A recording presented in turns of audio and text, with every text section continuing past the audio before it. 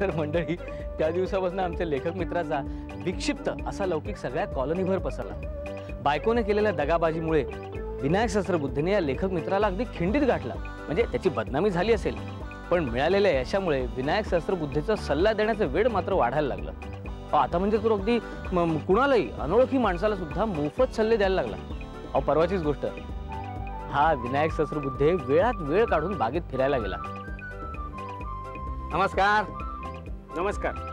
मी विनायक शास्त्रबुद्ध. आहे असं का? छान छान. चणे खाताय वाटतं? नाही दगड खातोय. खा खा. अहो माणसाने पचेल ते खावे. अहो चाललात कुठे? मी काही मागणार नाहीये. अहो दगड सोडा. मला साधे चणे सुद्धा पचत नाही अहो थांबा हो. तुमच्या डोळ्यामध्ये मला तुमच्या सुखदुःखाचा आलेख कार्डिओग्राम सारखा स्वच्छ दिसतोय. तुम्ही ज्योतिषी आहात का? ज्योतिष आम्ही सांगत नाही आम्ही घडवतो. असं का? चणे खाताना तुमच्या डोळ्यामध्ये मला स्वप्नाळू नजर दिसली.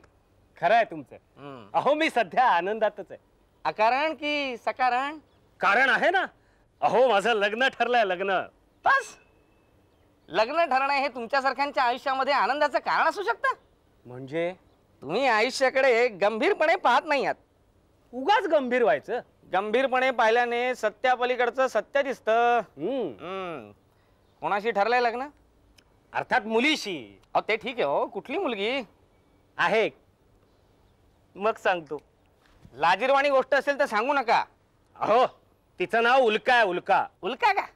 कोसळणार तुमच्या संसारावर कोसळणार ती. वय काय तिचे?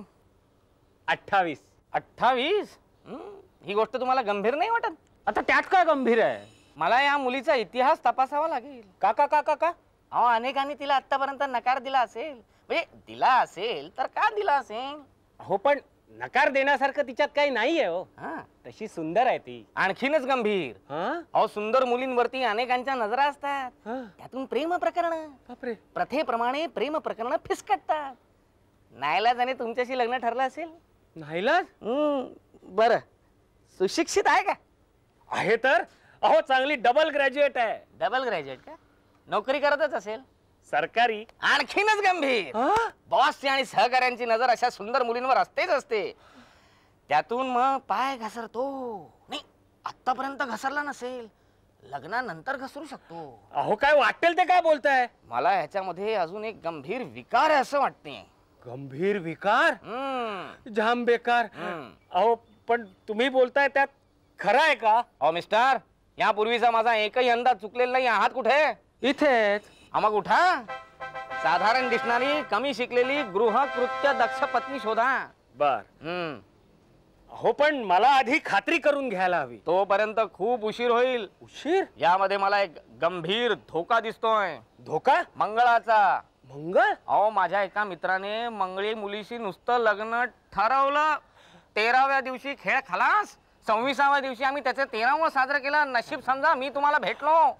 अहो पण मला आता ती इथे भेटायला येणार आहे. अहो मग निघा लवकर. अहो नाही म्हणजे ती आली की तुम्ही पाघळाल. आणि मग तेराव्या दिवशी तुमच्या खिरीचा आणि वड्याचा बेत होईल. बापरे. हा. खरंय खरंय. मी निघतो. अ- अहो अ, थांबा. लग्न म्हणजे चणाक्षपणे आणि विचारपूर्वक करायची गोष्ट आहे. थिल्लरपणे करायची नाही. लक्षात ठेवा. खरंय तुमचं खरंय. हम्म. पटलं मला. थँक्यू हा. पण काय हो? हं?